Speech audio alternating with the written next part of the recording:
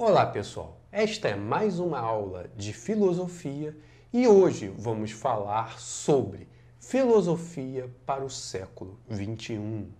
É comum ao estudar filosofia pensarmos na história da filosofia, autores tradicionais e clássicos que viveram há muito tempo atrás, muitas vezes na antiguidade, que viveram em um mundo historicamente muito diferente do nosso. A filosofia trabalha com questões que transcendem a história.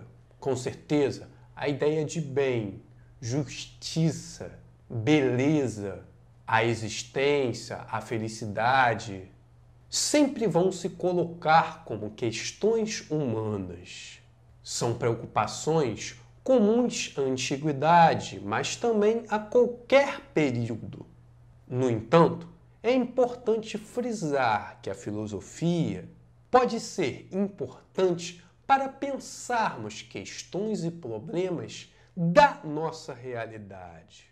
Questões e problemas que serão centrais para hoje e para o nosso futuro. O best-seller israelense Yuri Harari ficou conhecido por uma série de livros que justamente se preocupa em discutir o nosso tempo e as possibilidades a por vir. Vamos tomar como base para nossa conversa hoje o livro 21 lições para o século 21, onde Harari discute diversas temáticas importantes para pensarmos o mundo hoje e importantes para pensar o futuro. Vamos aqui nos ater a três questões. A primeira delas é referente ao trabalho. Como trabalho, podemos entender a ação de transformação da natureza na sociedade industrial, quando falamos em trabalho, logo vem a ideia de emprego, atividade pela qual as pessoas produzem, garantem a sua subsistência. Na sociedade de hoje, marcada por intensas e radicais transformações no mundo do trabalho, emerge uma problemática. Harari nos afirma que no mundo futuro talvez não tenhamos emprego. Quando falamos de mudança no mundo do trabalho, logo nos vem à cabeça as transformações colocadas pela Revolução Industrial. Harari destaca que no passado as máquinas competiram com as capacidades físicas humanas e não com as capacidades cognitivas. No entanto, hoje, o desenvolvimento tecnológico associado à robótica, à inteligência artificial e o aprendizado de máquina começa a possibilitar a substituição do trabalho humano cognitivo por máquinas. O desenvolvimento de computadores mais inteligentes e rápidos e a compreensão dos mecanismos bioquímicos que sustentam as escolhas, sentimentos e emoções humanas possibilitaram um salto neste sentido. Hoje, computadores podem analisar expressões faciais humanas, posturas, humor através do tom de voz e a partir daí fazer cálculos que podem significar a substituição de determinados trabalhadores por máquinas. Trabalhadores como advogados, motoristas, profissionais de finanças, médicos e etc. Há um tempo atrás, considerávamos que determinados trabalhos, como de um médico, de um motorista, seriam insubstituíveis, que as ações e decisões tomadas por esses trabalhadores não poderiam ser emuladas por mecanismos automatizados. No entanto, com o desenvolvimento da tecnologia, percebemos que determinadas escolhas são cálculos e que por meio de sensores e dados poderíamos automatizar essas ações. Um carro automatizado, por exemplo, possui diversos sensores para conseguir ler o trânsito e calcular as melhores ações para conduzir o veículo através de uma rota determinada. Da mesma forma, através de sensores, cálculos e banco de dados, podemos ter o diagnóstico de diversas doenças, a automatização de uma parte do trabalho dos médicos.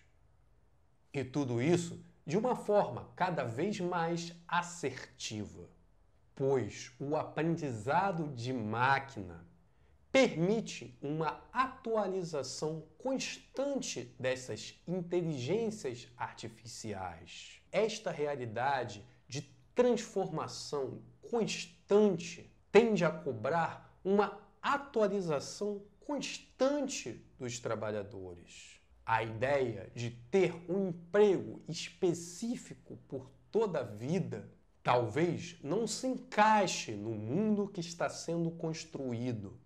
Esta nova realidade poderá criar uma classe de obsoletos uma outra temática desenvolvida por Harari é a temática da liberdade. Vivemos em um mundo onde todas as nossas interações produzem dados. Quando você acessa a internet para conversar com um amigo nas redes sociais, usa um buscador para se informar sobre alguma notícia, ou para procurar algum tipo de produto, você está produzindo dados. Esses dados são armazenados constantemente e analisados constantemente, pois são muito valiosos para diversos tipos de empresas. Na verdade, as empresas que mais crescem e acumulam capital hoje trabalham retirando valor desses dados. Para Harari, um ser humano pode ser hackeado. As escolhas humanas podem ser entendidas como algoritmos bioquímicos, cálculos que são realizados por nossos organismos. E hoje, através do armazenamento de imensa quantidade de dados computadores podem mapear estes algoritmos e também manipulá-los. Computadores podem identificar gostos, identificar emoções, sentimentos através da informação que produzimos e compartilhamos. E a partir daí prever comportamentos induzir comportamentos e extrair valor destes. Hackear o ser humano é justamente entender o seu comportamento, entender o que fundamenta as suas escolhas e, a partir daí, poder intervir, induzir a determinadas escolhas, tanto coletivamente quanto individualmente já que através da automatização, algoritmos podem fazer um trabalho individualizado através das informações que foram capturadas de cada pessoa por meio das suas interações singulares. A automação das escolhas por meio de algoritmos que interagem com os dados que produzimos, cada vez mais furtam nossas escolhas. Hoje, delegamos aos algoritmos, às inteligências artificiais, a decisão de que filmes iremos assistir, que tipo de comida vamos comprar, pois o que nos aparece como opção, sugestão, se deu através de um processo automatizado. No futuro, a tendência é que essa transferência de autoridade, de escolhas, invada outras áreas. Pensemos, por exemplo, em aplicativos destinados a relacionamentos. De alguma forma, esses aplicativos já selecionam e restringem um leque de pessoas para nos relacionarmos, de acordo com perfis que nós mesmos construímos. A ideia de Big Brother, desenvolvida por Oz, um sistema de controle e vigilância gigantesco se impondo sobre os indivíduos, talvez não esteja tão distante, decorrente de todo esse debate, nos aparece um outro, a questão da igualdade. Para Harari, nesta sociedade, os donos dos dados são os donos do poder. Hoje, vivemos uma sociedade onde 1% da população, das pessoas mais ricas do planeta, possuem a riqueza de 99% da população. 100 pessoas mais ricas do mundo concentram a riqueza de 4 bilhões das pessoas mais pobres. E toda esta desigualdade pode ser ainda amplificada. Como discutimos há pouco sobre o trabalho, as novas tecnologias podem extinguir o valor político e econômico de uma massa gigantesca de pessoas, criando uma classe de obsoletos. Um processo que iria aumentar ainda mais a desigualdade social. A manipulação e vigilância dos dados podem dificultar qualquer tipo de revolta e levante contra esse cenário de enorme desigualdade. Hoje, é muito difícil as pessoas viverem desconectadas. Para ser ativo socialmente, economicamente, de alguma forma é preciso interagir com as novas tecnologias, com a internet, por meio das redes sociais, etc. E fazendo isso, produzimos dados que permitem poder e riqueza para quem os controla como regular a ação de empresas que cada vez acumulam mais poder e riquezas através desse grande negócio que é o hackeamento das pessoas.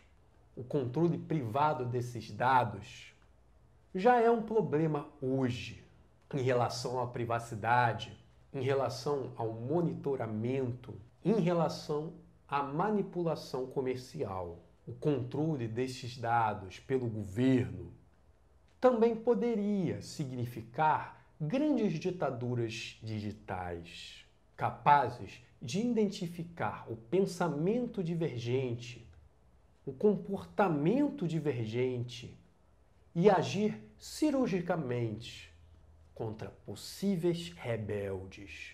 Hoje ainda nos é distante um cenário de filmes distópicos, onde inteligências artificiais declaram guerra aos seres humanos, colocando em risco a humanidade. No entanto, bots, robôs programados para propagar determinadas ideias, atacar determinados grupos de pessoas, espalhar fakes, mentiras, estão edificando um cenário que também é distópico. Um cenário onde uma pequena elite consegue vigiar, monitorar e manipular boa parte da população para garantir o seu interesse. Frente a tudo isso, podemos fazer algumas reflexões. O desenvolvimento tecnológico sempre traz novas possibilidades. Hoje, vemos um embate entre pensadores e movimentos que tomam o desenvolvimento tecnológico como o inimigo. apontando para um fatalismo em relação ao futuro, para uma concepção tecnofóbica, deixando a entender que de alguma forma deveríamos retroceder, voltar de forma romântica a uma idealidade perdida. Por outro lado, existem aqueles que entendem que a tecnologia pode ser usado a nosso favor e não contra. A internet, por exemplo, também permitiu uma comunicação diferenciada entre as pessoas. Por mais que existam grandes empresas e governos se apropriando da tecnologia para o controle e vigilância, para manipulação, também existem linhas de fuga. A possibilidade do uso destas tecnologias para reforçar a autonomia, a liberdade, a criatividade. A internet não se reduz às redes comerciais das grandes corporações nem a um meio de busca e consumo. Ela é também espaço de troca, espaço de colaboração que transcende esse sentido comercial. Existem movimentos de produção colaborativas, produções coletivas não comerciais e todo tipo de coisa